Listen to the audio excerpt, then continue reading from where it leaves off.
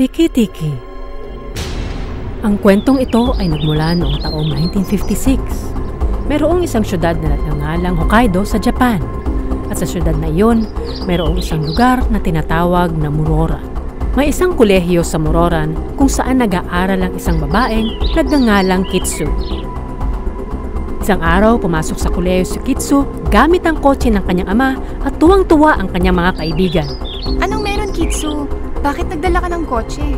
Himari, aking kaibigan. Ngayong araw na to, tayo papasya sa syudad gamit ang kotseng ito at tayo magsasaya. Mukhang masaya yan, Kitsu. Oras na nga para tayo magsaya. Matagal na rin ang huling nating kasiyahan. Oo, tama ka nga, Fuji. Ngayong araw, lilibot tayo sa buong syudad na nakakotse at magsasaya. Sige, makita tayo pagtapos ng klase at tayo aalis. Wala mauhuli. At wala mag extra classes. Oh yeah, tara na mag-party. Kita tayo mamaya. Matapos noon, bumalik silang lahat sa kani-kanilang mga klase.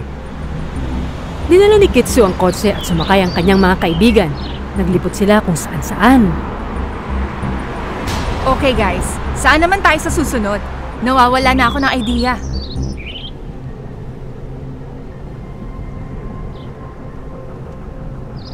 Bakit hindi tayo pumunta sa street number 13 ngayon? Nagtinginan ang magkakaibigan at ngumiti. Tama ka, Fuji. Puntahan natin ngayon nang malaman kung anong itsura doon.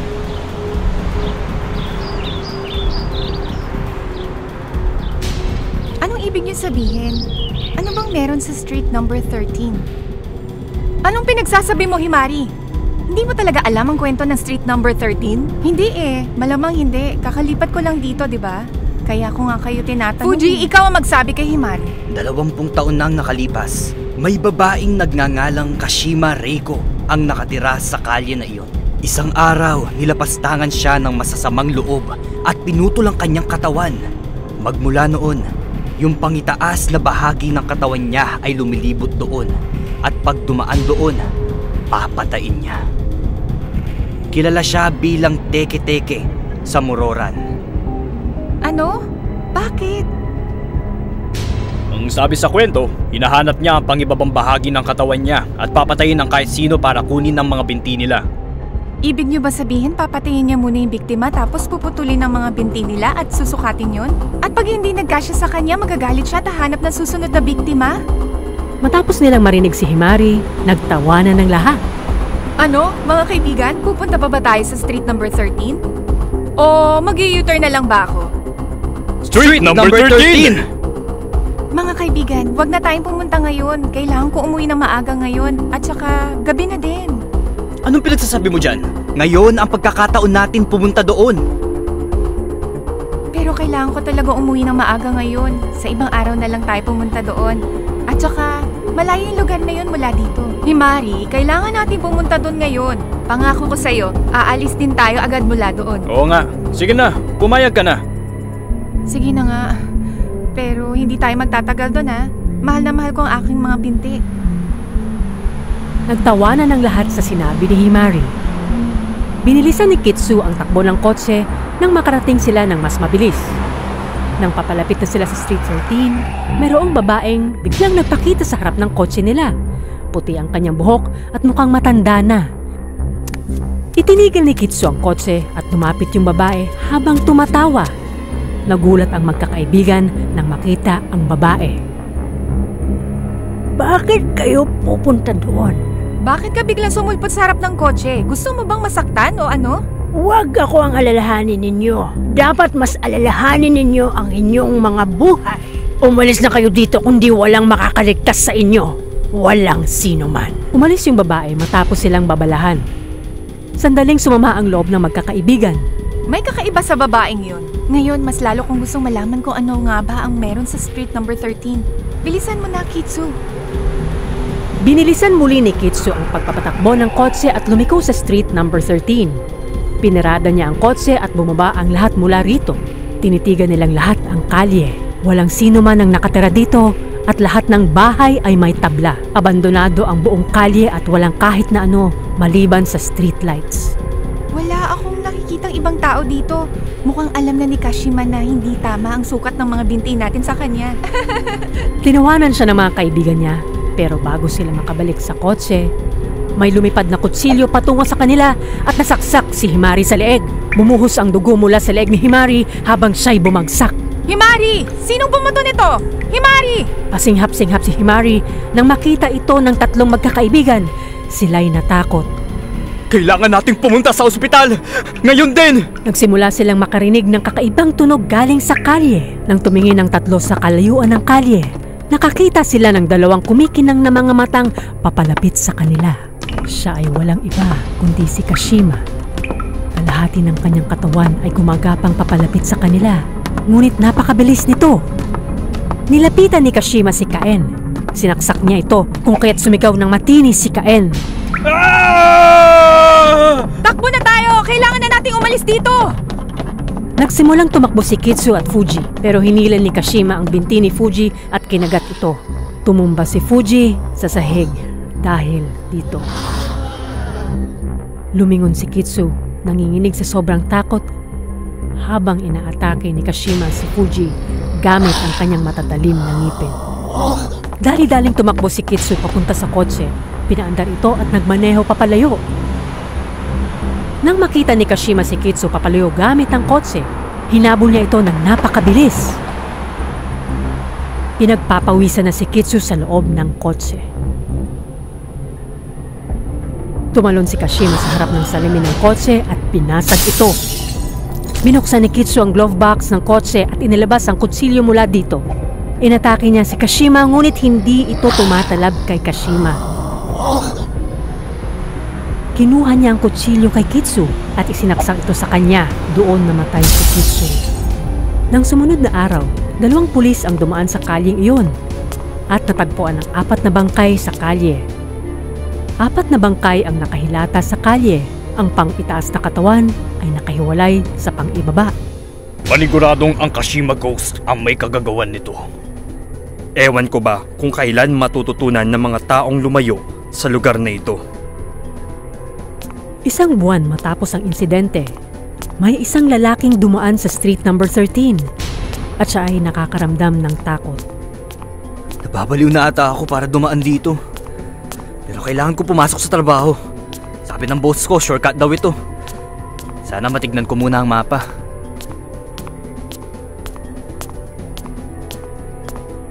Tumayo siya sa bukana ng street number 13 at nagmasid. Ano ko po? Saan ako pupunta? Naliligaw na ata ako. Lalakarin ko na lang tong kalye para makita kong pamilyar yung kabilang dulo. Patuloy na naglakad ang lalaki sa kalye at ilang sandali lang, maririnig ang kanyang matinis na sigaw. Magmula ng aksidenteng iyon, pinahinto na ng gobyerno ang pagdaan sa kalyeng iyon at nilagyan ng harang ang lahat ng daan papunta doon. Ang buong syudad ay kailanman ay hindi na dumaan sa kalyeng iyon para maiwasan ang gulo ng street number 13 at Nikashima. Ang wakas. Si Bigfoot. May limang namumundok ang nakaupo sa isang tolda sa tuktok ng isang bundok na nababalot ng niebe. Malayelong hangin ang umiihip sa labas. Nagsisiga sila sa isang sulok. Maririnig ang mga tunog ng mababangis na hayop sa masukal na gubat. Nag-uusap ang mga namumundok. Labing limang araw na tayong nasa bundok na ito. At wala pa rin tayong nakikitang yete o kahit yapak man lang nito. Aba oo nga, gustong gusto na natin makakita ng Yeti. Walang nakakaalam kung kailan siya magpapakita. Buti na lang may pain tayo si Lily. Pag nakita siya ng Yeti, kukunin siya noon. Umalis sila ni Jan. Hindi na bale. Huwag ka mag-alala. Babalik din sila dito. Alis lang ako saglit ha. Pagbalik ko, tuloy ang mission natin. Sige Joe, basta sinabi mo. Lumipas ang oras at maggagabi na, ngunit wala pa rin si Joe. Matinding ingay mula sa mga hayop ang naririnig sa kanilang paligid. Nag-alala na ang lahat para kay Joe. Saan ba siya pumunta? Di ba dapat nakabalik na siya dito ngayon? Di kaya napalayo na yon? Delikado pa naman sa labas. Sige, titignan ko.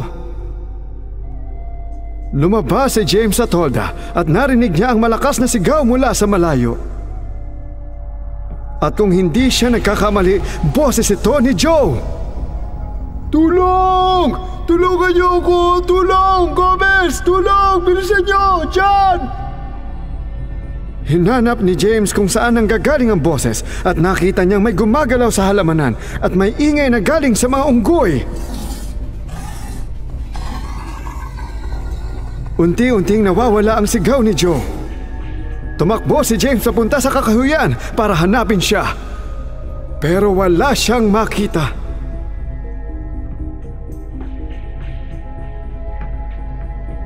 Ngunit may nakita siyang daan patungo sa bundok. Puno ng mapamangis na lobo sa paligid. At may nakita siyang malalaking yapak. Tinignan niya itong mabuti.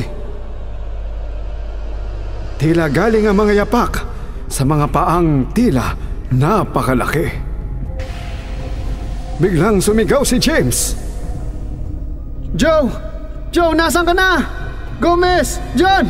Halika kayo rito! Ilang saglit pa dumating si Gomez pati na rin sina John at Lily. Ano nangyari, James? Bakit ka sumisigaw? Nasaan si Joe? Hindi ko nga siya makita. Dito siya dumaan pero hindi ko alam kung saan siya pumunta. Narinig ko siyang sumisigaw at may nakita akong gumagalaw sa banda roon. Kaya pumunta ako dito pero wala naman tao. Pero tignan nyo, merong mga yapak na ubod ng laki. Napakalaki mga yapak nga. Baka galing yan sa paan ng Yeti. Ano ba kasing ginawa ni Joe at napahamak siya? Oo nga, ako dapat ang pain. Pero nakakatawa siya. Mahilig kaya ang Yeti sa ganon? Wala tayong panahon magbiro. Kailangan natin siyang hanapin. Tara na, hanapin natin kung kanino mga yapak yan. Tinignan nilang lahat ang mga yapak sa lupa.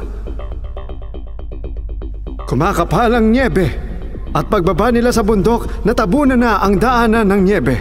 Tinatawag nila ang pangalan ni Joe. Umaalingaw-ngaw sa kabundukan ng kanilang mga boses. Sa malayo, may nakita silang mahabang anino papalapit sa lawa. At may kakaibang ingay silang narinig mula doon. Joe! Joe!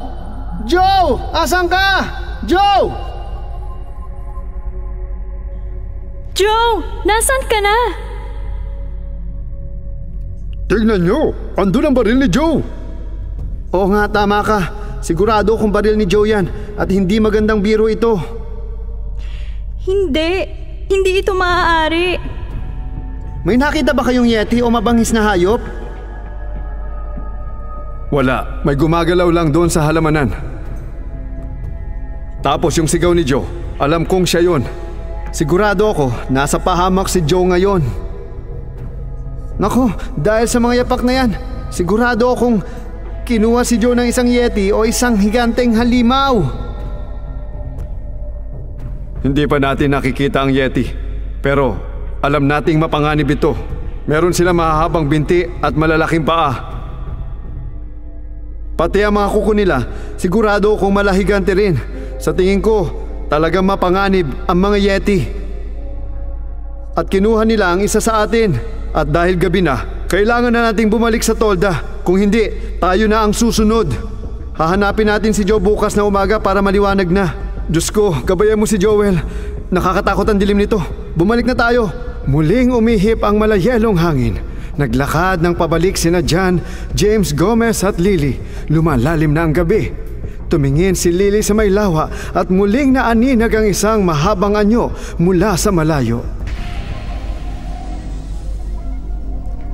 Kawawang Joe, kamusta na kaya siya? Diyos ko, iligtas niyo po siya.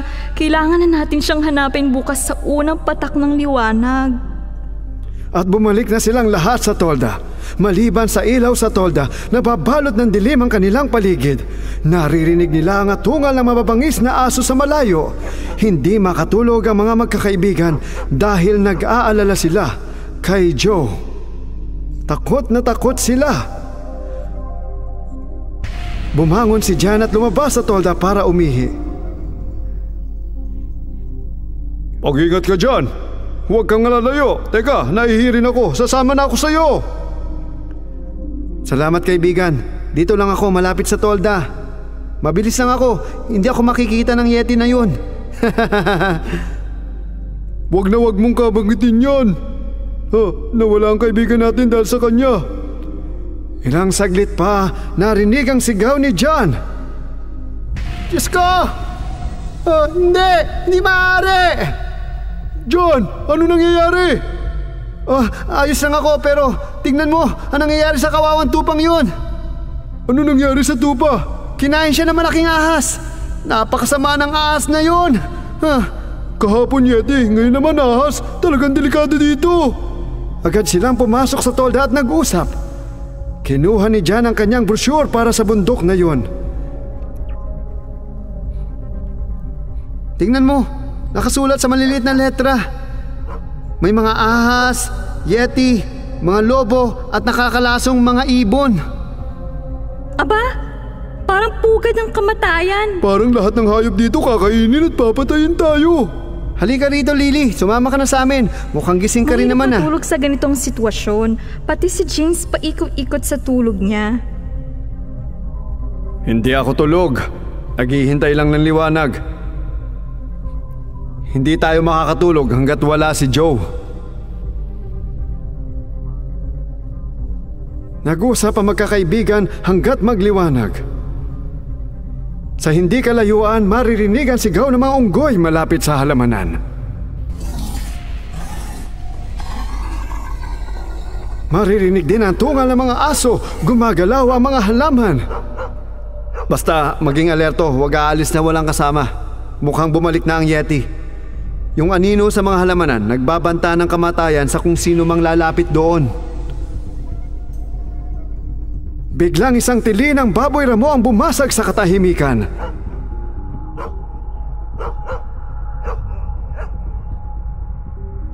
Isang dosenang aso ang tumatahol mula sa malayo. At narinig muli ang tunog ng mga unggoy.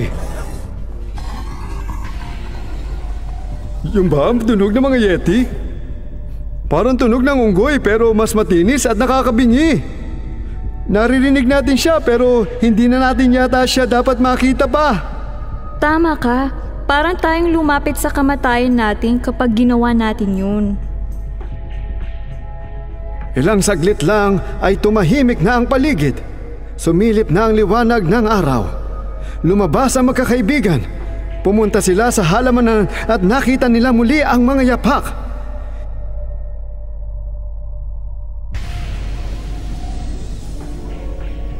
Hinanap nila muli ang kaibigang si Joe. Naghanap sila sa lahat ng sulok pero hindi nila ito nakita. May nakita silang matandang tagabundok. Tinawag siya ni Jan. Pamanhin, Ginoo! Sandali lang po. Ah, dito po ba kayo nakatira? Oo, dito ako nakatira sa loob ng anim na putlimang taon. May nakita po ba kayong yeti dito? Ah, sa totoo lang, hindi ko pa siya nakikita. Pero nakita ko na ang mga yapak niya. Narinig ko lang sa mga kwento ng aking lola. Narinig kong mapangis ito at palaging naghahanap na makakain. Kaya siguro ang mga nakakita sa kanya hindi na nabuhay para magkwento. Marami din ako narinig na kwento. Sige po, alis na po kami. Kung hindi niyo siya nakita ng 65 taon, wala kaming pag-asa kay Joe. Hinanap nilang muli ang kaibigan. Ilang saglit pa, tumahimik ang paligid. Mataas ang sikat ng araw. Naghanap sila ng naghanap, ngunit wala silang nakita. Patuloy nilang hinanap ang kaibigang si Joe. Naghanap sila na naghanap pero wala silang nakita. Maraming kwento tungkol sa Yeti, ngunit walang katibayan na makikita tungkol rito. Mananatiling isang misteryo ang Yeti para sa mga tao. Ang wakas. Joker. Ito'y taong 1960 sa siyudad ng Edinburgh kung saan may limang magkakaibigan, sina Eric, Sandra, Susan, Nathan at Cyril. Magkakasama din sila sa eskwelahan. Nabalitaan nila ang tungkol sa mga nawawalang bata sa siyudad. Isang araw, malakas ang ulan, ngunit nagbisikleta si Nathan para puntahan ang mga kaibigan. Lalong lumakas ang ulan at naputol ang kadena ng bisikleta niya. Aayusin sana niya ito nang may narinig siyang boses. Nathan, halika dito. Sino kaya yung nagsalita? Hindi napigilan ni Nathan ang sarili at sinundan ng boses papunta sa isang kuweba. Pumasok sa kuweba si Nathan. Sa loob may nakita siyang lalaking parang payaso na may kakaibang ngiti at dugong tumutulo mula sa kanyang mata. Nakakatakot din ang tawa niya. May mahabang hiwa sa gilid ng kanyang pisngi, parang demonyong nakadamit payaso. Aalis na sana si Nathan pero nahabol siya ng Joker. Saan ka pupunta? Dalawamput pitong taon na kong naghintay. Pagbukas ng kanyang bibig, lalong lumaki ang kanyang mga ngipin. Kanya ang kamay ni Nathan at dinala sa loob pa ng kuweba. Naputol ang braso ni Nathan at napasigaw ito sa sakit. Ilang araw na ang lumipas mula ng insidente. Nalulungkot ang mga kaibigan ni Nathan. Nasasabik silang makita siya. Matagal nang hindi bumabalik si Nathan. Humingi ng tulong ang pamilya niya sa pulis. Malungkot din ng mga kaibigan niya. Lumipas pa ang mga araw, ngunit walang makita ang mga pulis. Hanapin natin si Nathan. Paano na lang siya biglang nawala? Ilang araw ang nakalipas, biglang naglaho si Sandra. Ngayon takot na takot na silang lahat. Hindi nila malaman kung bakit nawawala ang kanilang mga kaibigan. Paglipas ng ilang araw, nakilala nila si Martin. Pinatawag niya ang magkakaibigan. Bakit mo kami pinapunta dito? Sa tingin ko, makakatulong ako. Kaya tinawag ko kayo. Meron akong napag-aralan tungkol sa isang misteryosong payaso. At sa tingin ko, siya ang kumuha kina Sandra at Nathan. Payaso? Sinong payaso? Sa tingin ko, matutulungan ko kayo. Kaya tinawag ko kayo. Huwag na ninyong itanong kung paano ko nalaman. Ngayon, takot na takot na silang lahat. Hindi nila naiintindihan. Pinatawag sila ni Martin sa sementeryo. Takot na takot silang lahat. May kakaibang ihip ng hangin doon. Malakas na hangin. Nililipad ang mga dahon at isang puting anino ang biglang dumating. Napasigaw si Suzanne. Duwag! Kailangan mo pigilan ang takot. Kahit anong mangyari, pigilan mo ang takot mo. Huh? Bakit naman? Dahil yan ang papatay sa'yo. Tulad nila Sandra at Nathan na pinangunahan ng takot nila. Huh? Hindi ko maintindihan. Hindi mo alam? Kinuha sila ng payaso. Sobrang lakas niya at lalo siya lumalakas pag natatakot ka. Bumabalik siya tuwing 27 taon at kumakain ng mga bata. At pag lumakas siya ulit, matutulog ulit ng 27 taon. Ilang libong taon na siyang ganyan. Kaya dapat labanan mo ang takot mo. Nag-iiba-iba ang kanyang anyo, depende sa kung ano ang kinakatakutan mo. Halimbawa, takot si Nathan sa lalaking may mahabang ngipin. Huwag mo na ako tanakan kung paano. At si Sandra naman, takot sa itsura ng isang aso. Kung gusto nyong makita ang mga kaibigan nyo, iligtas nyo sila bago ang susunod na itim na buwan. Kung hindi, magbabalik ang Joker at 27 taon kayong maghihintay. Hindi. Ililigtas namin ang mga kaibigan namin mula sa Joker. Pumunta ang magkakaibigan sa labas ng syudad. Doon nakita nila ang kuweba. Papasok na sana sila sa kuweba nang biglang humarang sa lagusan ng isang malaking bato. Naka po, napakadilim naman dito. Takot ako sa dilim. Huwag kang matakot, Susan. Wala mangyayari sa'yo. Huwag kang matakot sa dilim. May narinig silang malakas na tawa at nakita nila si Sandra. Sandra? Ikaw ba yan? Oo, pero bakit kayo nandito? Takbo na, papatayin niya tayong lahat. Nasaan si Nathan? Pinuto niya ang kamay ni Nathan. Nasa baba siya ng kuweba pero hindi na siya mabubuhay. Ganon din ako kaya umalis na kayo. Anong sinasabi mo, Sandra? Andito kami para iligtas kayo ni Nathan. Huwag ka matakot, Sandra. Sabihin mo lang paano pumunta sa baba ng kuweba. Sinundan nila si Sandra pababa ng kuweba. Bigla na lang naging pula ang paligid ng kuweba at narinig ang napakalakas na tawa. Nako, lumalakas lalo siya. Sabi ko umalis na kayo. Papatayin niya tayong lahat. Huwag ka magkalala. Mabilis siya mag-iba ng anyo. Hindi mo mamamalayan kung kailan. Biglang dumating si Joker sa anyo ng ama ni Martin. Hindi siya ang papa mo. Siya si Joker. Di ba sabi ko sa'yo kanina, nagpapakita ang Joker sa anyong kinatatakutan mo? Pero wag kang matakot. Lumapit ang payaso at hinila ang kamay ni Sandra saka lumipad sa ere. Lubayan mo siya!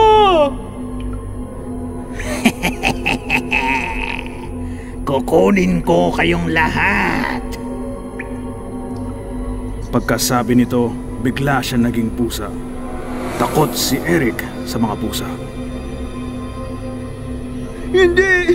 Hindi! Umalis ka! Lumayas ka dito! Huwag ka matakot, Eric. Bakit? Lalabanan mo ba ako? Tuturuan ko kayo ng leksyon. Nag-ibang anyo muli ang payaso. Natakot ang mga bata. Dahil bigla itong nagbuga ng apoy. Pero hindi sila tumakbo. Tinibayan nila ang kanilang loob. Kalaunan, unti-unting humihina ang payaso. Nakita nila si Nathan na papunta sa kanila. Natakot ang mga bata nang makitang naputol ang kamay ni Nathan. Umalis na kayo. Kung hindi, ganyan din ang gagawin ko sa inyo. Ngunit, tuluyan nang humina ang kapangyarihan ng payaso dahil wala nang natatakot sa kanya. Pakakawalan ko kayong lahat kung hahayaan ninyo si Nathan sa akin. Ngunit hindi umalis ang magkakaibigan. Nilapitan pa nila ang payaso. Tuluyan nang humina ang payaso hanggang sa naging lupa na ang kanyang anyo at humalo sa sapa. Umalis na kayo! Iwan niyo na ako dito! Unti-unti, natunaw na ang payaso sa lupa at namatay. Masayang masaya ang mga batang magkakaibigan dahil natalo nila ang isang halimaw. Ang... Ang mangkukulam. Nagsisimula ang ating kwento sa taong 1804. Si John Bell at ang kanyang pamilya ay may tahanang nakatayo sa tatlong daang ektarya na lupain, nakilala sa Adams, Tennessee. Masaya silang namumuhay, ngunit may nangyari noong 1817 na nakapagpabago ng kanilang buhay sa habang panahon. Isang gabi, pumasok si John Bell sa silid ng kanyang anak na si Elizabeth, na kasalukuyang nagbuburda. Elizabeth, bakit hindi ka pa natutulog anak ko? Opo, Papa. Matutulog na po ako. Humiga na si Elizabeth at kinumutan siya ni John. Papatayin na sana ni John ang kandila sa tabi ng kama. Wag po, Papa. Pakiusap. Hayaan niyo lang po ang kandila. Takot po ako sa dilim. Hindi ka naman ganyan dati, Elizabeth. May nangyari ba? Di ko po maipaliwanag, Papa, pero minsan nakakaramdam ako ng kakaibang takot sa puso ko. Pag-usapan natin ito bukas. Matulog ka na. Mahimbing na natutulog si Elizabeth nang biglang nagkaroon ng malakas na hangin at kidlat. Narinig niya ang mahinang pagbukas ng pinto. Tila may aninong nakatayo sa paanan ni Elizabeth. Bahagyang nakikita ang mahabang buhok at nananaliksik na mga mata ng nilalang. Habang unti-unti nitong hinila ang kumot na nakatakip sa mukha ni Elizabeth. Hinila pabalik ni Elizabeth ang kumot. Tuluyan ng hinila ng maitim na nilalang ang kumot ni Elizabeth. Unti-unting minulat ng dalaga ang kanyang mga mata. Nang nagsimulang lumipad ang mangkukulam sa hangin. Umiyak dahil sa takot si Elizabeth nang makita niya ito. Papa! Papa! Iligtas mo ako, Papa! Mabilis na pumasok si John sa silid. Anong nangyari, Elizabeth? Binangungot ka ba? Napaos na si Elizabeth, kaya tumingin na lang siya pataas habang inaalala ang kakilakilabot na insidente. Di niya ito makakalimutan. Papa, maaari ba akong matulog sa iyong silid? Ayoko na pong matulog dito. Sige, anak. Pero huwag natin guluhin si Mami, ha? Sasamahan na lang kitang matulog dito. Hindi maganda ang pakiramdam ni Mami. Kinabukasan, nagsasampay ng mga damit sa labas si Frida, ang ina ni Elizabeth, nang dumating ang bata. O Elisa, binangungot ka ba kagabi? Hindi po. Totoo po lahat ng nakita ko. Hindi po ako nagsisinungaling sa inyo. Totoo yun. Okay anak, pumasok ka na muna sa kwarto. Sasabihan na lang kita kung magtatanghalian na. Umalis si Elizabeth at pumunta sa kanyang silid. Papasok na si Frida ng bahay dahil tapos na siyang magsampay. Nang makita ito ng mangkukulam, lumipad ito papalapit kay Frida. Nahulog ang mga sinampay dahil dito.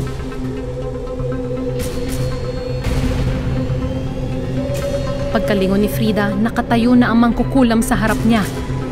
Sinugod ng malupit na mangkukulam si Frida at pinagkakalmot at pinagtatadyakan niya ito. Nangalupaypay sa lupa si Frida pagkatapos mabugbog.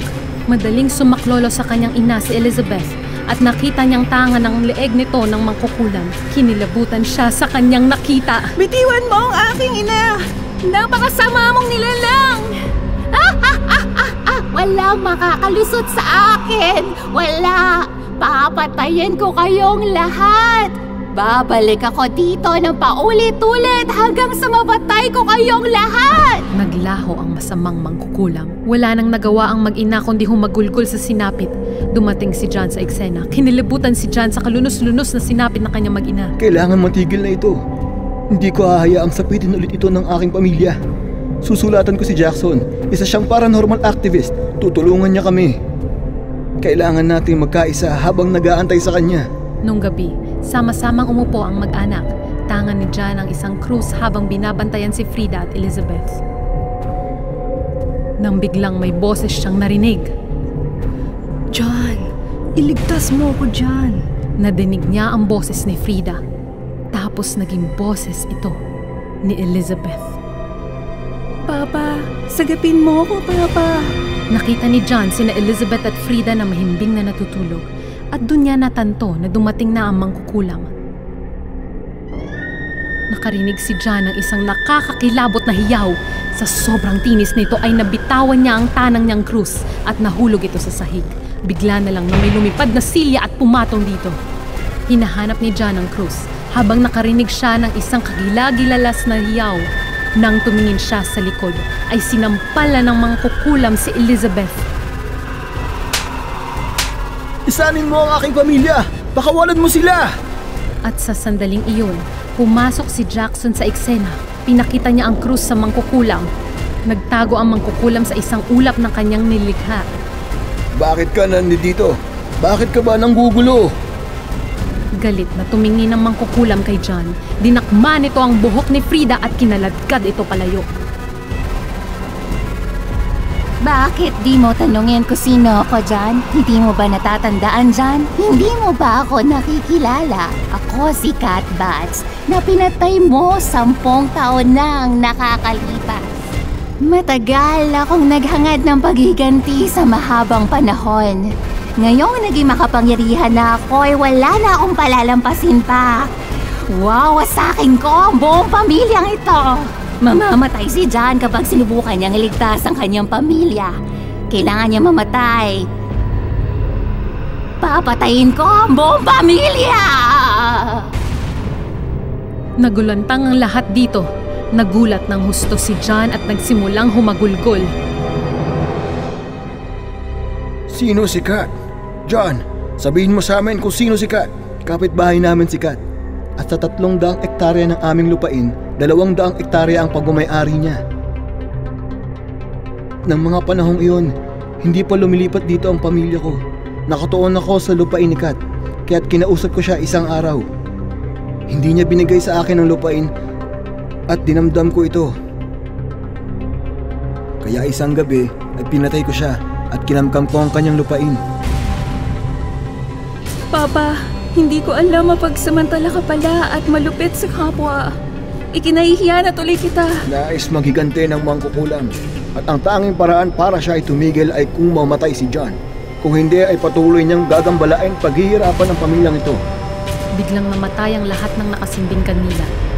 Muling bumalik ang mangkukulam at kitang-kita ang puot sa kanyang mga mata. Sumugod siya kina Elizabeth at Frida. Sinunggaban ng mga ito sa leeg at walang awa silang inangat mula sa lupa. Ano sa tingin mo dyan? Gusto mo bang makita ng sarili mong mga mata ang pagkamatay ng iyong pamilya? Natulala sa pagkabigla si John. Dahan-dahan siyang tumayo para kunin ang kutsilyo na nasa ibabaw ng mesa. Sinaksak niya ang kanyang sarili. Natuwa ang mangkukulam sa kanyang nakita, kaya binitawan na niya ang mag-ina at tuluyan ng maglaho. Mabilis nang tumakbo si Elizabeth at Frida sa tabi ni John. Pareho itong umiiyak. Patawarin niyo ako. Pakiusap. Patawarin niyo ako. Ang wakas. Ang Asong Lobo Ito ang kwento ng tatlong magkakaibigang nag-aaral sa St. Joseph College sa Boston noong 1975. Sina Ross, Jenny at Nick ay matalik na magkakaibigan na palaging magkasama. Noong sarado ang kolehiyo isang gabi, nakatayo sila at nag-uusap sa harap ng gate. Di nila napansin na gabi na. Uy, dapat pumunta kayong dalawa sa bahay kapag weekend. Tambay tayo. May assignment ako. Naku Jenny, wala nang point ang usapan na ito kung di ka naman pupunta. Sige na nga, sama na ako. Kapag tumitingin sina Jenny, Rose at Nick sa daan, may nakikita silang misteryosong tao na nakatingin sa kanila. Uy guys, nakikita nyo ba yung weird na taong yun? Ayun oh. Oo nga eh. Teka lang, dito lang kayo. Tuturuan ko siya ng leksyon. Hinabol ni Nick ang lalaki na siya namang tumakbo paloob ng gubat. Ah, akala mo mabilis ka ah. Mauhuli din kita. Mabilis siyang hinabol ni Nick sa loob ng gubat. Pumasok si Nick sa makapal na gubat. Makaraan ng ilang minuto, wala siyang ibang makita doon. Nilamon na ng gabi ang ilaw ng araw at tanging ang mahinang liwanag mula sa bilog na buwan ang natira. Bigla niyang naramdaman na may nagmamatsyag sa kanya mula sa talahiban at ang mga mata nito ay pula, nanlilisik. Kinabahan si Nick kaya matulin siyang tumakbo habang may misteryosong anino ang humahabol sa kanya. Tumakbo si Nick malapit sa gubat at nakakita ng kanal sa harap niya. Ano nang gagawin ko? Saan ako pupunta? Saksak lolo! Tulungan niyo ako! Natatakot si Nick. Tumingin siya sa hukay at nararamdaman niyang may nilalang na humihinga ng malalim sa likod niya. Lumingon si Nick sa likod niya at naroon ang lalaking may nanlilisik at pulang mga mata. Sino ka? Nakita ni Nick na humahaba ang kuko ng lalaki habang gumuguhit ng anino ang buwan sa katawan nito. Nasira ang mga damit nito habang tinutubuan siya ng mga pangil. Naging asong lobo siya sa harap ni Nick at tuluyan ng natakot ito. Umalis ka! Layuan mo ako! Pakiusap! Layuan mo ako! Pakiusap! Inatake ng asong lobo si Nick as sinugatan ng malalim ang leeg nito. Dumating si Jenny na naghihisterya sa bahay ni Ross. Jenny? Ross, nakita ang bangkay ni Nick malapit sa burol. Pinatay siya ng asong lobo. Ano? Anong pinagsasabi mo? Oo nga, hindi na nakauwi si Nick. Kaya hinanap siya ng mga pulis sa gubat dahil sinabi kong tumakbo siya doon. Sana pinigilan ko siya. Nakita ng dalawa ang bangkay ni Nick sa bahay nito at napaluha ang dalawa. Hinila ni Ross si Jenny palayo sa kakila-kilabot nitong nakita. Pinatay ba talaga siya ng asong lobo? Paano nangyari yun? Hindi ka naniniwala sa akin ano? Magkita tayo bukas sa aklatan ng munisipyo. Pinakita ni Jenny kay Ross ang libro tungkol sa mga asong lobo. Una silang nakita noong 1521 sa Germany. Mapanganib ang kanilang uri. Nagaan yung tao sila sa normal na araw, ngunit nagiging asong lobo tuwing kabilugan ng buwan. At kahit ano pang pilit nilang pigilan ng instinto ng pagiging asong lobo, hindi nila kayang pigilin ng mga sarili sa pagpatay. Tinitignan ni Ross ang mga larawan ng tao sa aklat. Pinag-aaralan niya ng husto ang libro nang biglang dumating si Mike. Sa kayo nagpunta? Hinanap ko kayo kung saan saan. Anong nangyari, Mike? Limang estudyante ang namatay sa college. Lahat sila biktima ng asong lobo.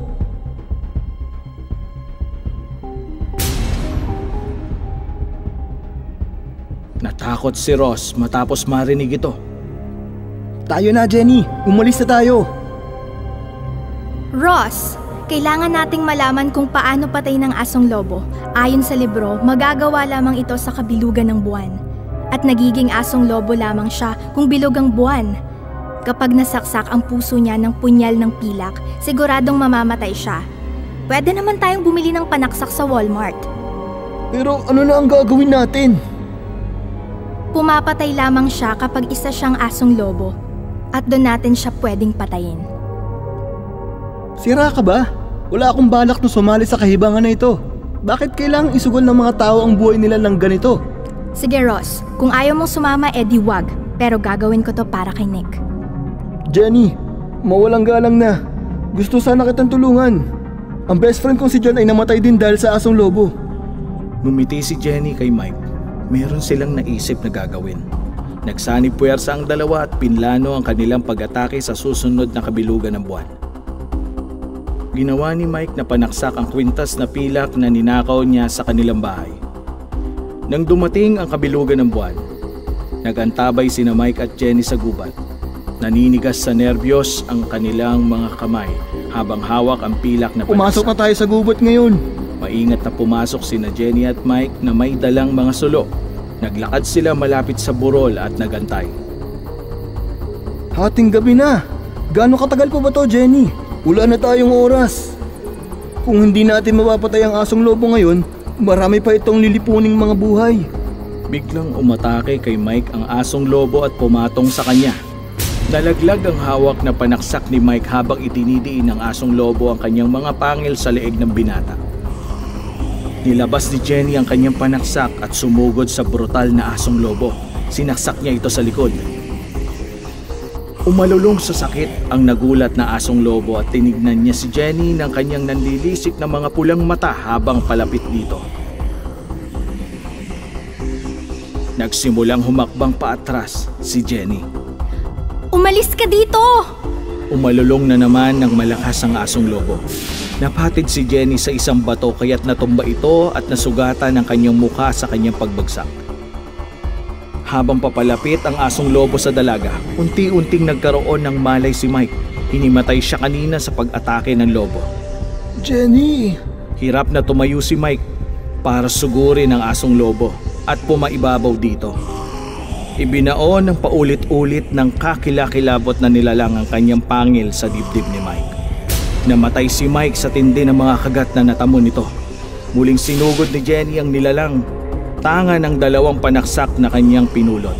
Ibinaon niya ang isa sa likod at ang isa sa puso. Umalalong sa sakit ang asong lobo at nawala na ito na parang anino ng makapal at maitim na uso. Pagkalipas ng ilang araw, nagkita si Ross at Jenny sa kolehiyo matapos gumaling ang dalaga. Patawarin mo ako, Jenny. Di na kita natulungan o kailangan mo ako. Napakatapang mo. Ross, hindi mo dapat kalimutan si Mike. Sinagip niya ang buhay ko. Lahat tayo buhay at maayos ang kalagayan dahil sa kanya. Ang wakas.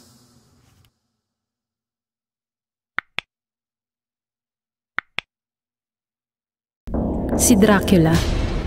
Itong taong 1930, dumating ang magkakapatid na sina Jack, Harry at Kevin sa Solem, isang maliit na bayan upang magdiwang ng Pasko kasama kanilang lola. Isang hapon nakaupo sila sa bahay ng kanilang lola nang magsalita si Harry. Tara, labas tayo. Mamasyal tayo ako gumawa ng kahit ano. Nakakainip ang maghapon na ito eh. Oo nga, magandang ideya yan. Tara na. Ayoko, hindi ako sasama. Sige, kayo na lang. Mauna na kayo. Pero Jack, magkikita kami ni Julie. Nakausap ko na siya kanina. Pero kung ayaw mong sumama eh, walang problema yun. Kami na lang aalis. Si Julie? Eh di tara na! Nagkatinginan sina Harry at Kevin at nagtawanan at pinuntahan na nila si Julie. Kababata nila si Julie at gustong gusto ni Jack at Julie ang isa't isa.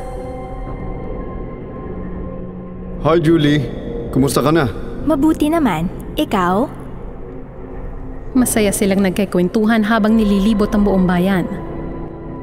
May isang sementeryong malapit sa gubat kung saan nakita ni Jack ang isang luma at abandonadong bahay. Julie, magkita tayo rito bukas ng gabi. Mukhang walang tao rito. Mainam yun para mas matagal tayo makapag-usap. Ngumiti si Julie at pumayag sa sinabi ni Jack. Kinabukasan, bumalik si Jack at Julie sa sira-sirang bahay at doon nag-usap. Sirang-sira ang lugar na ito kaya pwede tayo mag-usap na matagal dito at wala tayong maaabala. Alam mo ba kung anong kwento sa bahay na to? Dito daw nakatira si Dracula.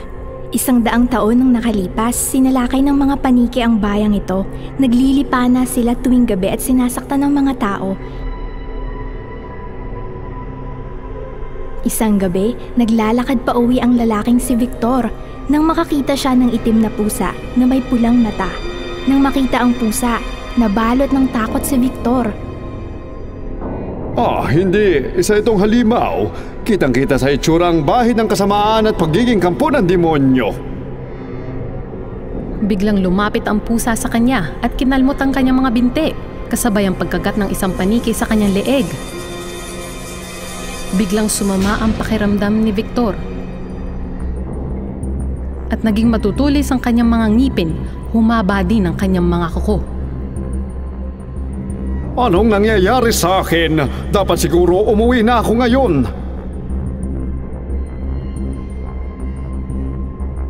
Habang naglalakad pa uwi, unti-unting nagbabago ang kanyang itsura hanggang tuluyan na siyang naging isang kakilakilabot na Dracula. Bigla siyang nakaramdam ng matinding uhaw sa dugo. Hindi mapigilan ng sarili at ininom ang dugo ng kanyang asawa. Ngunit uhaw na uhaw pa rin siya at ininom din ang dugo ng kanyang tatlong anak. Naghari ang takot sa bayan dahil kay Dracula kaya wala ng taong lumalabas ng bahay. At isang gabi, ang Draculang si Victor nagsulat sa bundok gamit ang kanyang dugo. Babalik ako paglipas ng isang daang taon.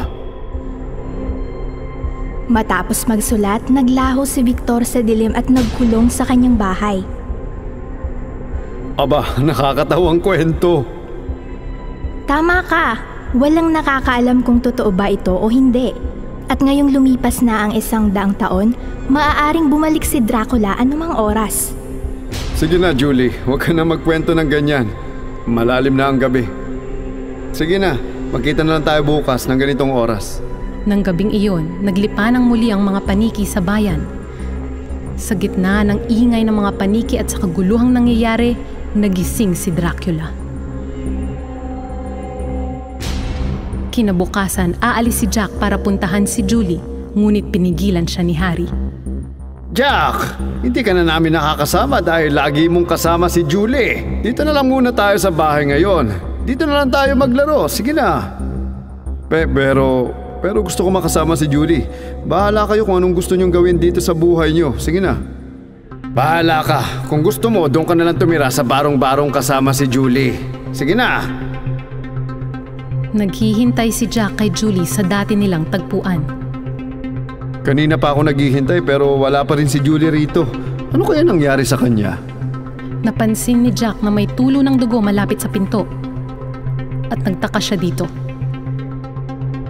Bigla na lang isang itim na paniki ang lumipad sa ibabaw ng bahay. Pintuan ito ng Bartolina ni Dracula. Ngunit kaninong dugo ang mga tumutulo na ito? Dahan-dahang bumaba si Jack sa hagdanan patungo sa Bartolina at pumasok doon. Tumingin-tingin siya sa paligid at may nakita siyang mga pulang mata. Lumapit ang mga ito sa kanya at nakita niya ang isang pusa. Biglang nakita ni Jack ang katawan ni Julie, nakabitin at tumutulo ang dugo sa malamig na sahig. Julie! Julie! Ano nangyari sa'yo? Nagulat si Jack sa sinapit ni Julie. At may narinig siyang mga yapak sa likod niya. Paglingon niya, nakita niyang papunta si Dracula sa kanya. Sinubukan tumakas ni Jack. Ngunit agad lumipad si Dracula at kinagat ng pangil ang leeg ni Jack. Hanggang tuluyan ng ininom ang kanyang dugo. Di nagtagal na matay din si Jack, tulad ni Julie. Hinihintay si Jack ng kanyang nanay na si Jenny at nag-aalala na ito. Harry? Kevin? Nasaan ang kapatid ninyo? Alam niyo ba kung anong oras na? Mama, kasama niya palagi si Julie. Buong araw. Araw-araw. Malamang ngayon magkasama pa rin sila. Ngunit ngayong araw na ito, isang bagyo ang tumama sa bayan, kasabay ng pagdating ng pagkaharami-raming paniki. Takot na takot ang lola ni Jack. Mukhang bumalik nga si Dracula. Sinabi niyang babalik siya. At sa kanyang pagbalik, uubusin niya ang dugo ng mga tao sa buong bayan. Nakakatakot. Ano? Paano mangyayari yun, Mama? Wala pang isang daang taon. Ah... Hmm. Ngunit, napahinto si Jenny at dahan-dahang tumingin sa isang kalendaryo. Isang daang taon na mula nang maging Dracula si Victor. Nasaan si Jack? Bakit hindi pa siya umuwi? Sabi ko, huwag na siyang umuwi. Ang sama ko talaga. Nagkikita sila ni Julie sa lumang bahay sa gubat. Tinukso pa siya tungkol doon. Ay nako, ang bobo ko talaga. Nakakainis. Ano? Yun mismo ang bahay ni Victor. Tumatakbo lahat ng tao para iligtas ang kanilang sarili dahil sa pagbabalik ni Victor sa bayan. Nang mapagtanto ni Harry na hindi umuwi ang mga kapatid dahil sa kanya, pumunta siya sa lumang bahay para hanapin ito.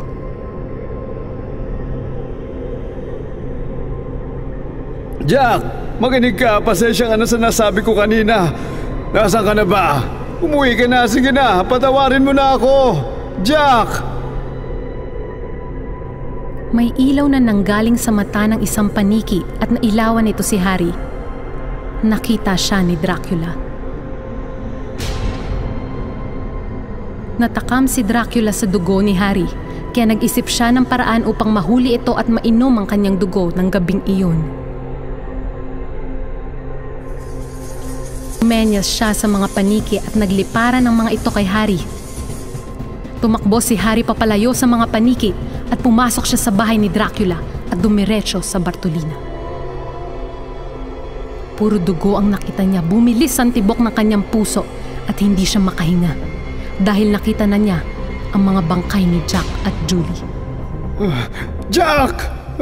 Jack!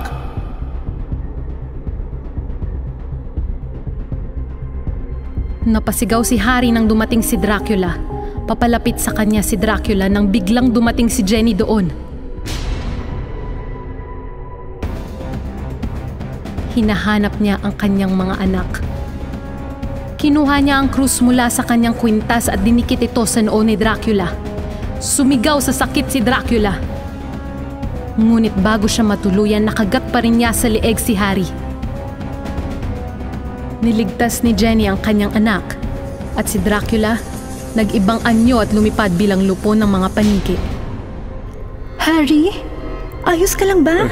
Opo, Mama. Ayos na po ako pero sila Jack at Julie. ano, ano sila?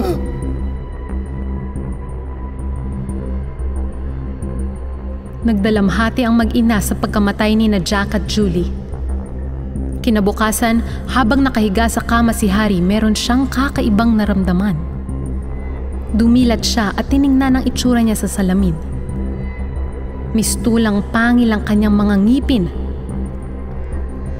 At bigla na lang, pumasok si Kevin sa kwarto. Nag-iba ang tingin ni Harry sa kapatid. Nakaramdam siya ng matinding pagkauhaw sa dugo nito. Inikutan niya ang kapatid at sinimulang inumin ang dugo nito. Pagkatapos lumipad si Harry mula sa bintana at pumunta sa barong-barong na bahay sa gubat. Dahil dito, isang bagong Dracula ang muling magdadala ng takot sa bayan ng Solem. Ang wakas. Ito'y taong 1956. Sa isang maliit na bayan sa Amerika, nakatira ang magkasintahang sina Sophia at Henry. Mahal na mahal nila ang isa't isa, kaya hanggat maaari palagi silang magkasama. Isang araw, pag uwi galing sa kolehiyo, pumunta si Henry sa bahay ni Sophia at sinabi sa kanyang, Sofia, iniwan ng tatay ko ang kotse niya at pumunta sa ibang bayan para sa negosyo. Gumawa ka ng dahilan para makalabas, para makapasyal tayo gamit ng kotse. Sige, gagawin ko. Naglakbay sila malapit sa gubat. Tumutugtog ang radyo. Bigla na lang, isang lalaking nakatayo sa harap nila. Sa halip na kamay, kawit ang nakakabit sa kanyang mga braso. Nakatayo lamang siya, suot ang itim na balabal at mistulang isang anino lang. Napasigaw si Sophia sa lalaki at biglang tapak si Henry sa preno ng kotse. Takot na takot ang dalawa. Nasaktan ka ba, Sofia? Ayos lang ako, Henry. Pero sino ang lalaking yun? Hindi ko alam. Nasa gitna lang siya ng daan. Dito ka lang muna. Titignan ko. Huwag na, Henry. Umalis na lang tayo. Huwag tayong huminto dito. Sige, halika na. Pinarada ni Henry ang kotse malapit sa gubat at naririnig ang musika sa radyo. Ano to, Henry? Bakit dito tayo pumarada? Para dito tayo magkakaroon ng kasiyahan. Hinawakan niya ang kamay ni Sofia at lumapit dito. Na magyakap sila, may narinig silang kalabog sa ibabaw ng kotse na parang nagpupukpok. May narinig silang kumakalmot.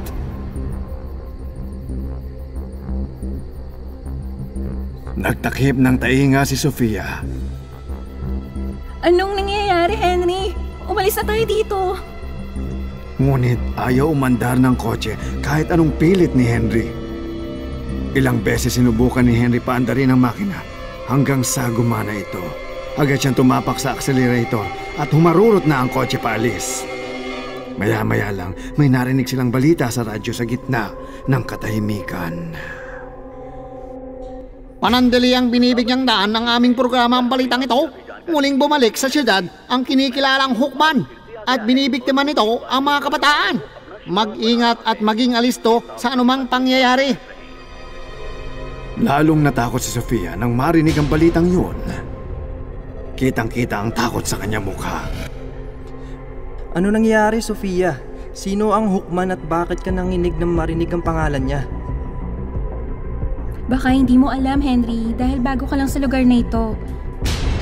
Noong 1946, namasyal ang kapatid kong si Ana at ang kanyang kasintahan. Nagcamping sila sa isang bundok at nagtayo ng tolda.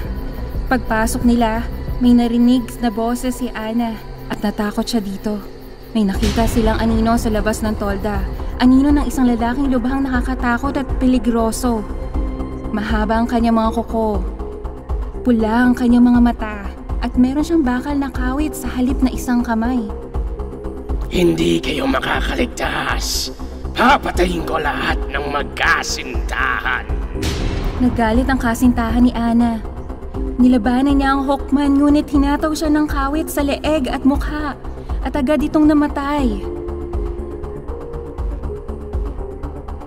Tatakbo sana papalayo si Ana ngunit tinamaan siya ng Hawkman sa leeg.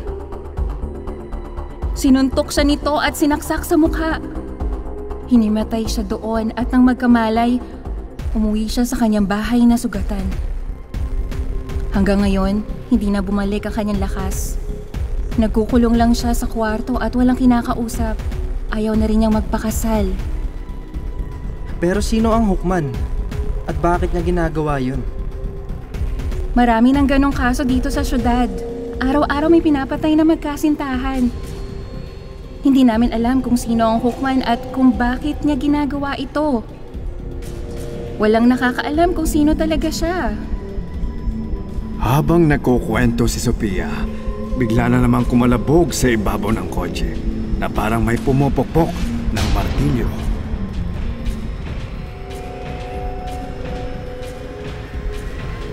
Dali, Henry! Umuwi tayo sa amin! Binasag ng hukma ng bintana ng kotse. Tumutulo ang dugo mula sa kanyang mata. Matulis ang kanyang ngipin at sira-sira ang mukha. Hinila niya si Sophia papalabas ng kotse. Sinubukan ni Henry na lumaban, ngunit hinataw ang kanyang mukha ng Hookman at agad lumabas ang dugo ni Henry. Napasigaw si Henry sa sakit at siya ay namatay. Tumakbo si Sophia upang iligtas ang sarili. Walang matitirang buhay. Walang matitirang buhay. Papatayin ko lahat ng nasa syudad na ito. Walang magtatagumpay sa pag-ibig.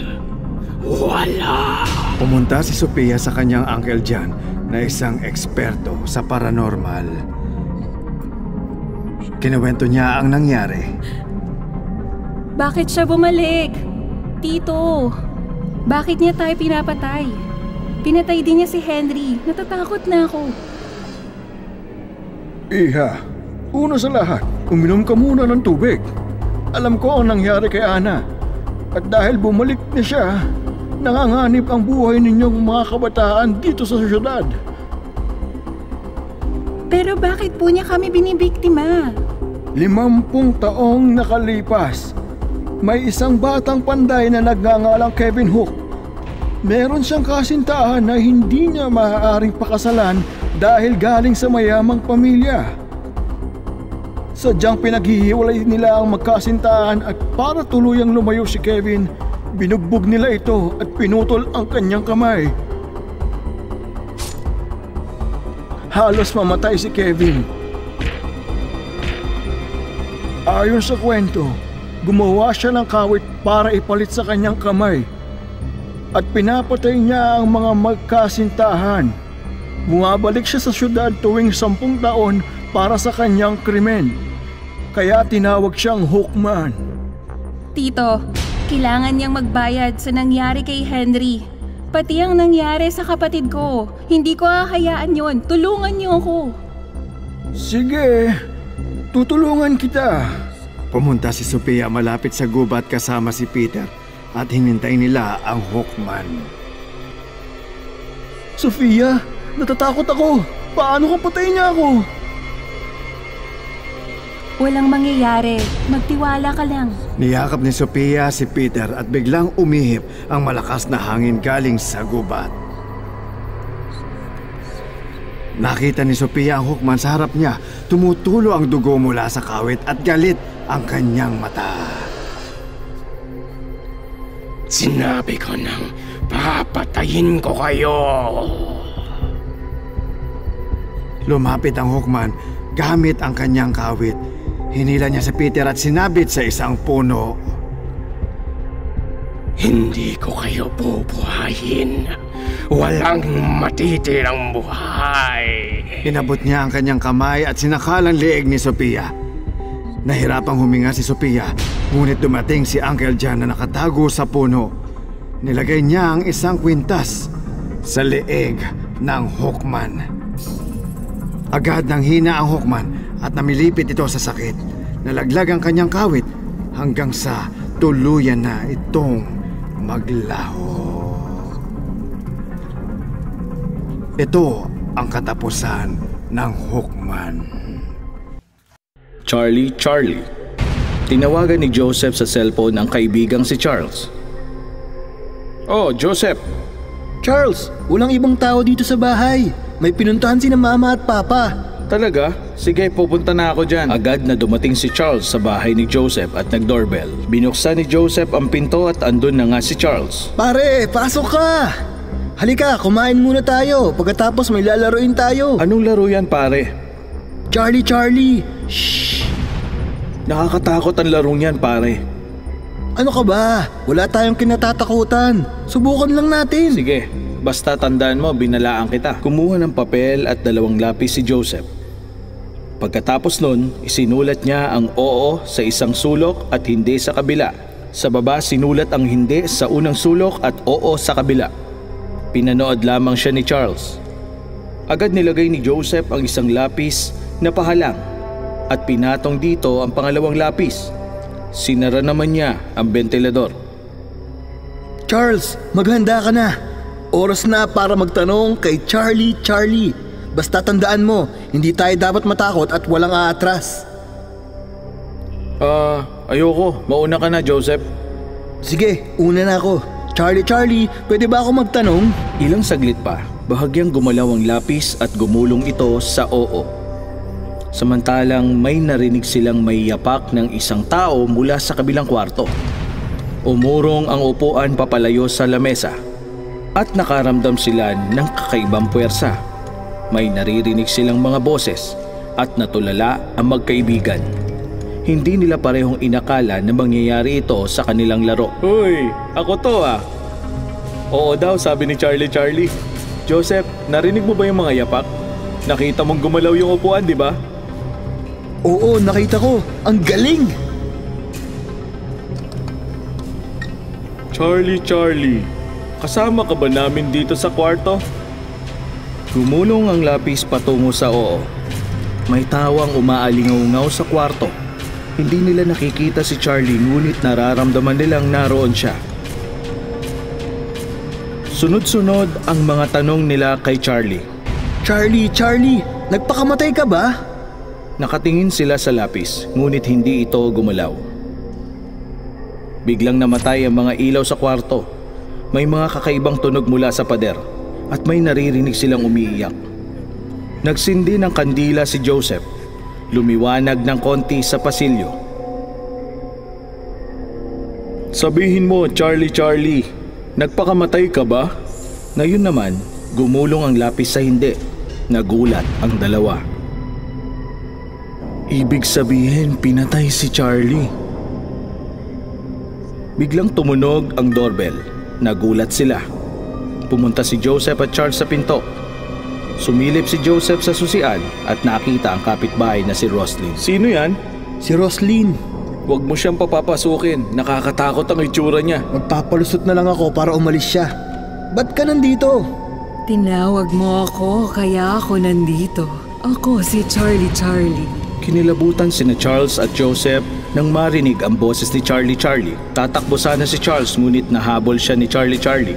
Kinuha siya nito at inihagi sa ere hanggang mauntog ang ulo niya sa kisame at saka bumagsak sa sahig. Tinulungan siya ni Joseph at tumakbo silang papalayo kay Roslyn. Charles, okay ka lang ba? Unti-unting bumili si Charlie Charlie at nayayanig lahat ng mga gamit na nadadaanan niya sa pasilyo. Magkahawak sina Charles at Joseph para hindi sila magkahiwalay habang tumatakbo. Winawasak ni Charlie Charlie ang mga gamit habang papalapit sa dalawa.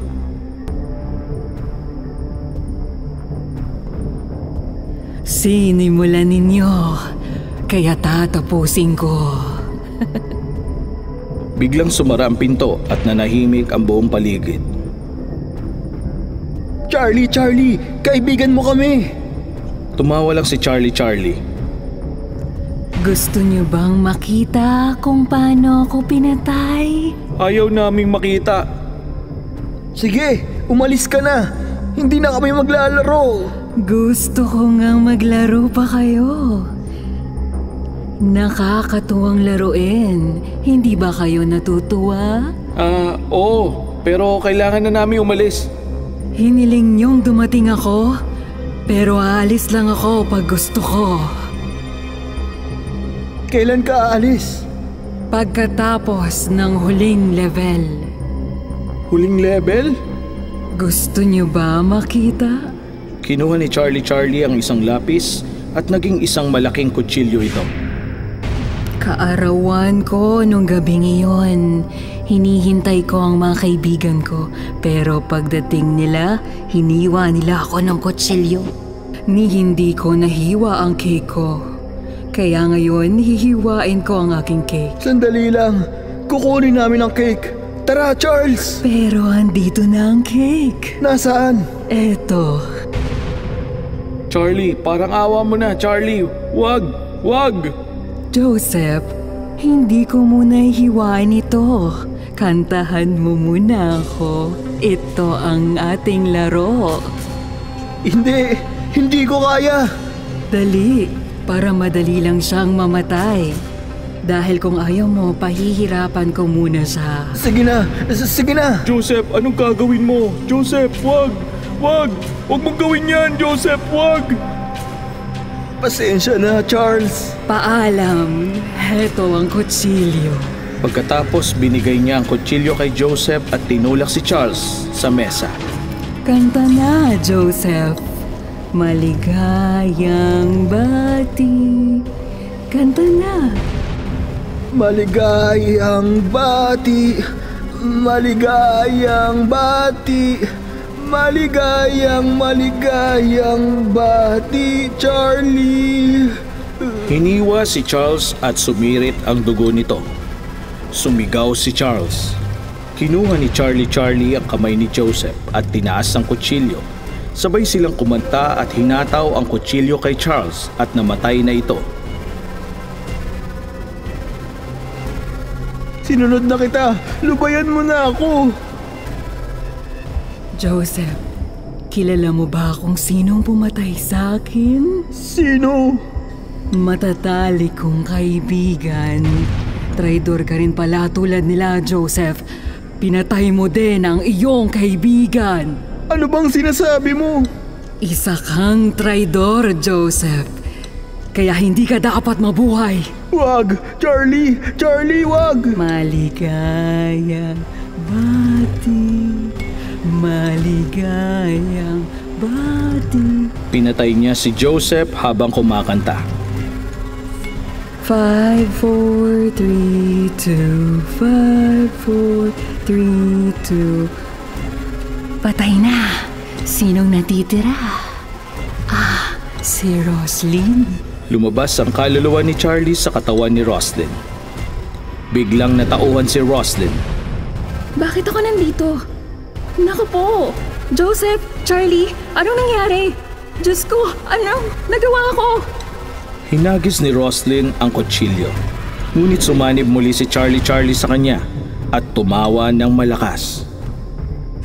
Maligayang bati, maligayang bati. Kinuha niya ang kutsilyo at sinaksak ang sarili habang kumakanta. Maligayang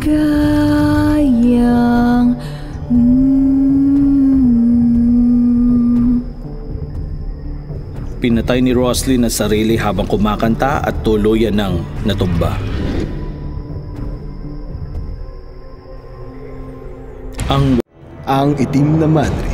Ito'y taong 1989. Magkakasamang nakatira sina Cheryl, Agnes at Diana sa isang bahay sa Inglaterra. Magkakaiba sila ng mga trabahong pinapasukan. Di nagtagal, lumalalim din ang kanilang pagkakaibigan. Agnes, anong klaseng lalaki ang gusto mo mapangasawa? Siyempre yung mayaman para habang buhay akong nasa karangyaan. Nako. Ikaw, Cheryl. Masaya naman ako sa trabaho ko sa bangko. Gusto ko yung mabait. Kahit hindi mayaman. Basta may hanap buhay kami at masayang pamilya. Yun lang ang gusto ko. Bakit? Magtatrabaho ka pa? Gusto ko yung asawa ko magpapaalipin sa akin.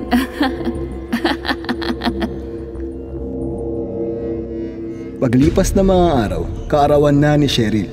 Nagplano ng sorpresa si Agnes at Diana para sa kanilang kaibigan. Naglagay sila ng mga palamuti sa kwarto sa bisperas ng kaarawan nito. Hating gabi pa ang kaarawan ni Cheryl. Makikita niya to pag uwi niya at masisira ang sorpresa natin. Oo nga, di ko naisip yon. Ganito na lang. Ako ang mag-aayos dito, tapos sunduin mo siya sa opisina at mamasyal muna kayo hanggang hating gabi. Oo, magandang idea yan. Manunood muna kami ng sine bago umuwi. At pumunta si Diana sa bangko bago pa matapos ang trabaho ni Cheryl. Oh, Diana, anong ginagawa mo dito? Naisip ko lang isama kang manood ng sine pagtapos ng trabaho mo ano, tara? Ah, nasurpresa naman ako sa imbitasyon mo. Nasaan si Agnes? Hindi ko alam kung nasan siya ngayon. Kaya tayong dalawa lang ang manunood. Kaya kinausap ni Diana ang amo ni Cheryl at umalis na sila sa bangko para manood ng sine. Habang sa bahay, naghahanda si Agnes para sa sorpresa nila kay Cheryl. Pauwi na si Diana at Cheryl galing sa panonood ng sine kinagabihan. Ang ganda ng palabas, Diana. Salamat. Walang problema, Cheryl. Alam kong nakakainip yung trabaho mo kaya naisip kitang yayain. Nag-uusap ang magkaibigan habang naglalakad pa uwi ng isang babae ang biglang nagpakita sa kanila. Nakakatakot ang kanyang mukha at nakadamit ng pangmadre. Tila nakalutang ito sa ere.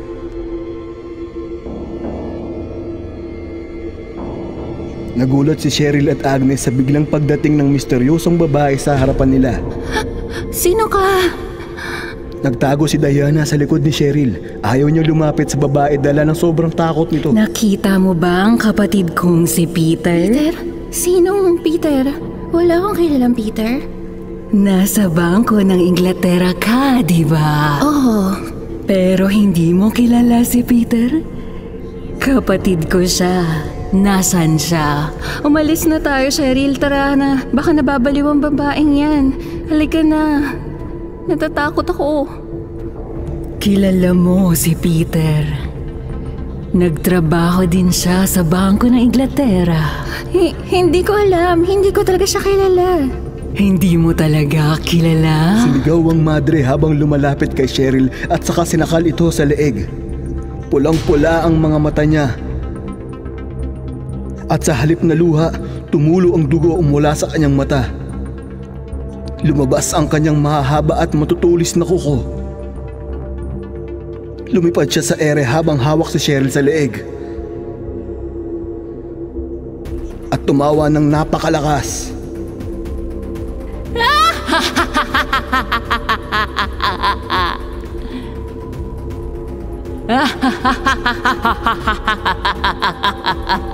Nabalot ng takot at gulat si Diana nang makita ang nangyayari sa kaibigan. Bitawan mo ang kaibigan ko!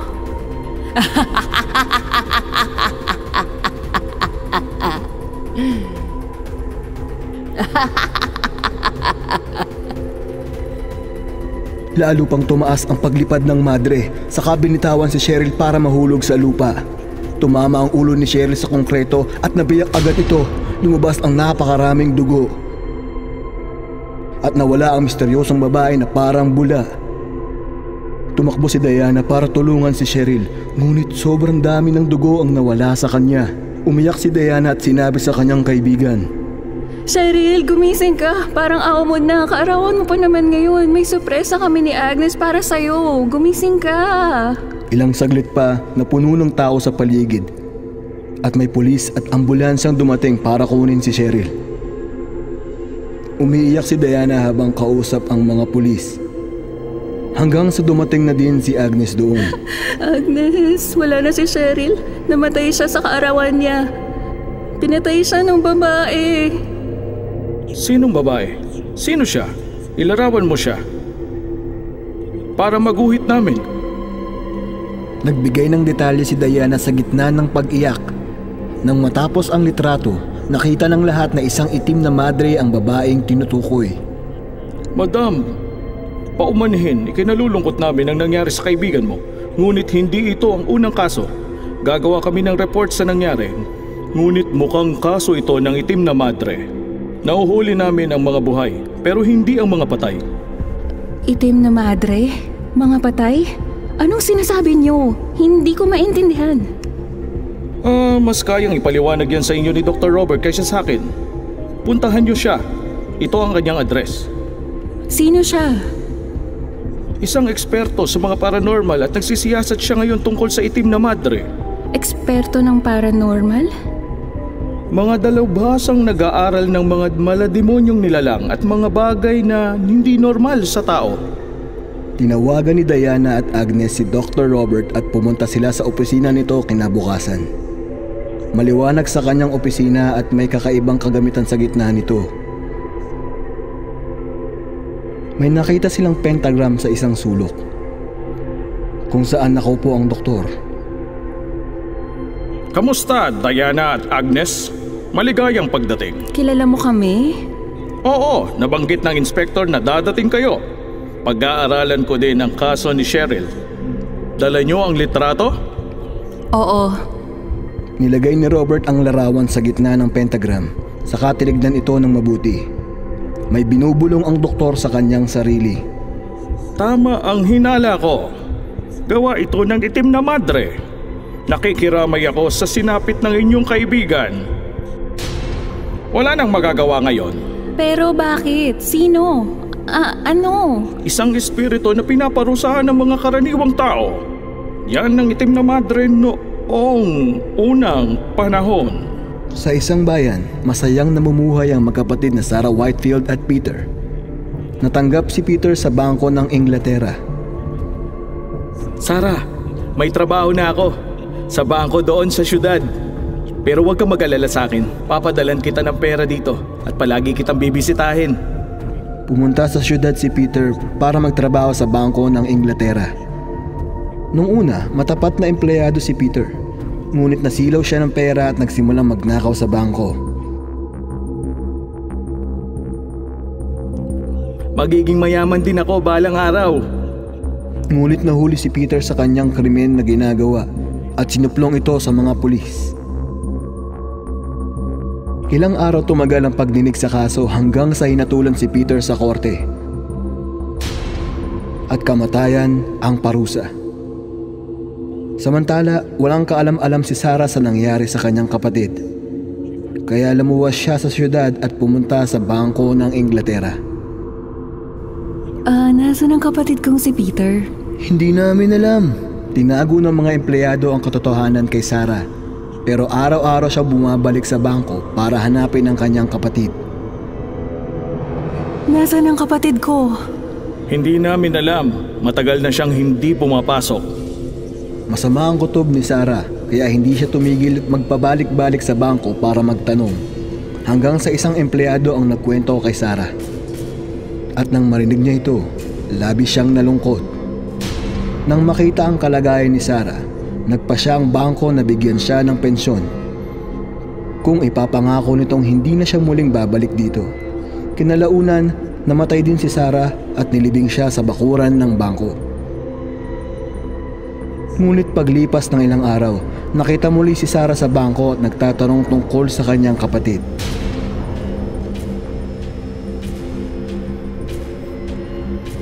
Nakita mo ba ang kapatid kong si Peter? Hindi.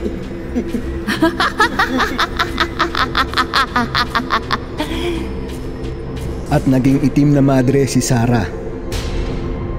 Pinapatay niya ang sino mang sumagot sa kanya sa pamamagitan ng pag-umpog ng kanilang ulo.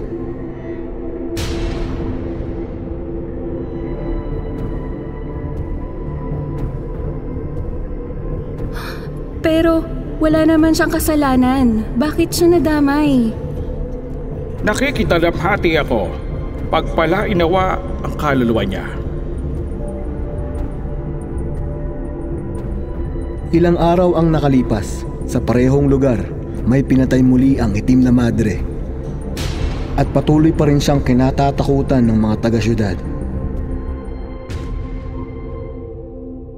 Ang wakas.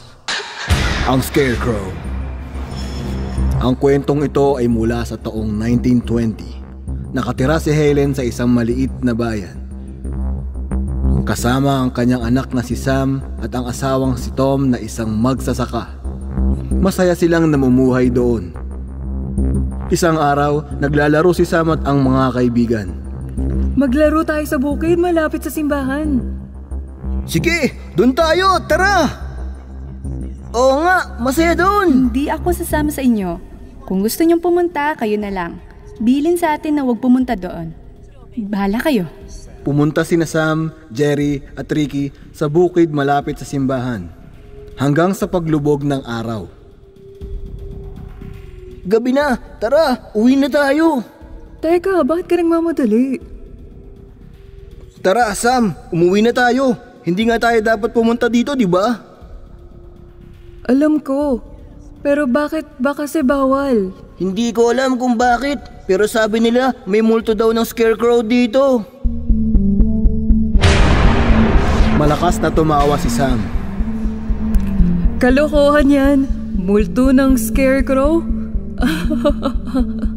Biglang umihip ang malakas na hangin at kumidlat sa langit. Labis na natakot sina Jerry at Ricky.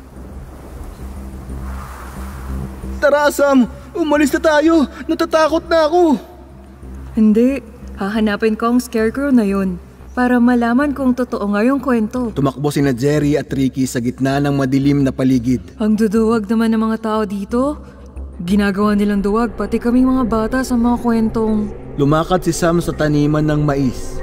Habang naglalakad, naramdaman ni Sam na may sumusunod sa kanya. Ngunit wala siyang nakikita paglingon niya. Patuloy siyang naglakad Napatingin si Sam sa lugar kung saan nakalagay ang scarecrow. Ngunit wala ito doon. Nagtaka si Sam kung bakit. Tumingin siya sa paligid at walang nakitang scarecrow. Nakaramdam siya ng takot.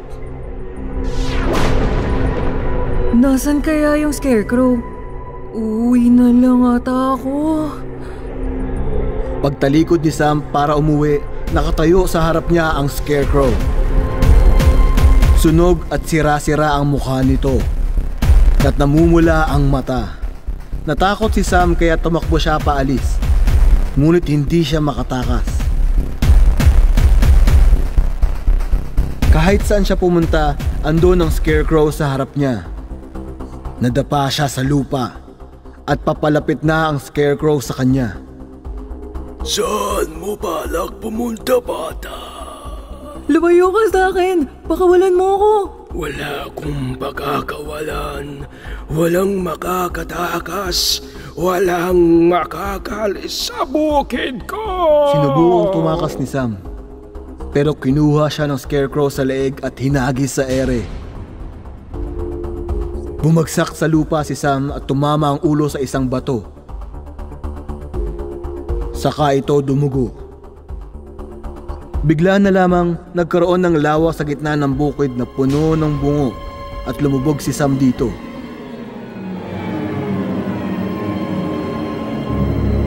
Pumunta ang mga magulang ni Sam sa mga kaibigan nito at mukha silang tuliro. Anong problema, tita? Hindi pa umuuwi si Sam hanggang ngayon. Nakita niyo ba siya? Nagkatinginan sina Jerry at Ricky. Andun po sa bukid, malapit sa simbahan, kung saan niyo po kami binawalang pumunta. Nang marinig ito, umiyak ang nanay ni Sam. Kinuha ng scarecrow ang anak ko. Huwag ka nang umiyak. Kalikat hanapin natin siya. Teka, tawagin natin si Father Peter. Tutulungan niya tayo. Pumunta sila kay Father Peter para humingi ng tulong. Namatay ang aking ama sa pagpapalaya sa kaluluwa ng Scarecrow. Hindi ko ahayaang mawala ng saysay ang kanyang sakripisyo. Panahon na para sirain ang Scarecrow. Sino po ba ang Scarecrow?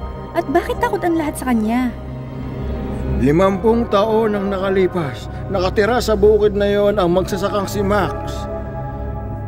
Kilala ang kanyang bukid sa masaganang pananim Kaya hindi nagtagal, naging dahil nito ng pagkaingit ng ibang magsasaka.